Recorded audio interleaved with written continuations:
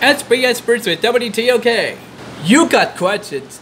The experts at WTOK.com, the answers.